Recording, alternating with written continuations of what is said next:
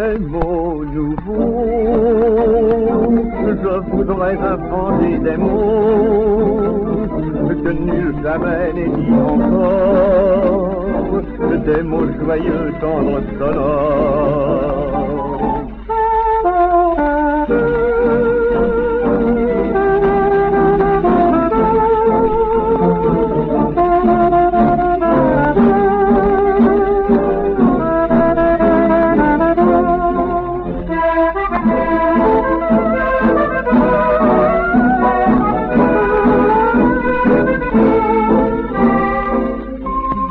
Mots nouveaux. Dans la nuit, mon désir implore